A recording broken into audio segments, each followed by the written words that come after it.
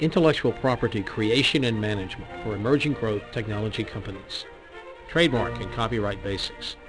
This presentation is brought to you by the IP attorneys and professionals at Hulsey Intellectual Property Lawyers through the Hulsey Intellectual Property Technology and Invention Monitor website.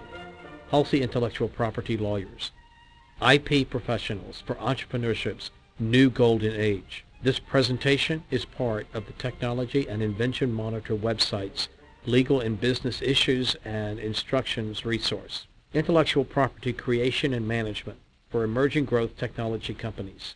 Trademark and copyright basics. Let's begin the presentation. Trademarks.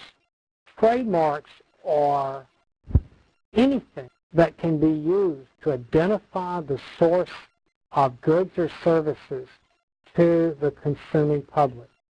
When a computer says Intel inside, that mark on the computer indicates to you that the processor inside the computer is made by the Intel Corporation. The computer may be manufactured by Compaq or Dell or, or some other company, but you know that the processor is maintained, that's been manufactured by Intel, and the source of the processor is Intel, and that's one of the motivating factors for buying the computer is that you know by virtue of that trademark where it says Intel inside, it's that's the source of the, of the processor. It protects both owners' interest and reputation from association with inferior goods and the right of the